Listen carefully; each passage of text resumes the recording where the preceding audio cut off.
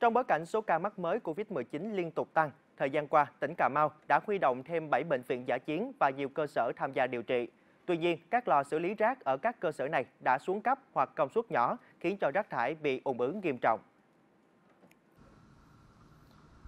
Đây là khu ờ, xử lý rác thải của Bệnh viện Đa khoa tỉnh Cà Mau. Hiện nơi đây đang ờ, tồn động khoảng ờ, 10 tấn rác thải y tế. Đại diện bệnh viện cho biết hiện có hai lò đốt rác thải y tế xử lý từ à, 600 đến 800 kg rác một ngày.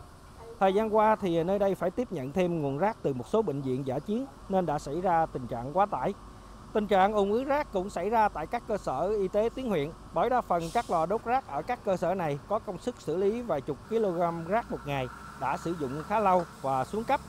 Để giải quyết bài toán xử lý rác thải, Ủy ban nhân dân tỉnh Cà Mau đã giao các cơ quan chức năng liên quan làm chủ đầu tư thực hiện à, khẩn cấp việc nâng cấp sửa chữa 5 lò đốt rác tại các bệnh viện đa khoa tuyến huyện, đồng thời cho xây dựng hai lò đốt rác tổng công suất xử lý à, 150 kg rác một giờ tại bệnh viện đa khoa Cà Mau và bệnh viện à, đa khoa huyện Ngọc Hiển.